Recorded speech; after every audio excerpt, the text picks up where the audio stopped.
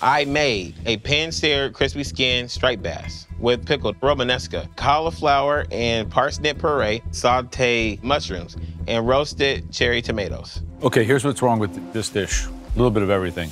The romesco is about an hour to 90 minutes away from being pickled properly.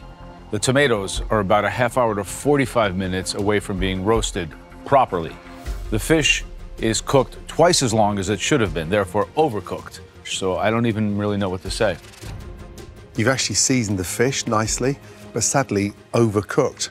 And you just don't serve roasted tomatoes with a parsnip puree. Tomatoes and parsnips will never work. They won't go together, period. Sadly for you, the best bite here is the mushrooms, which you know inside and out, in that puree. But that has nothing to do with fish. Thank you. Thanks, sir.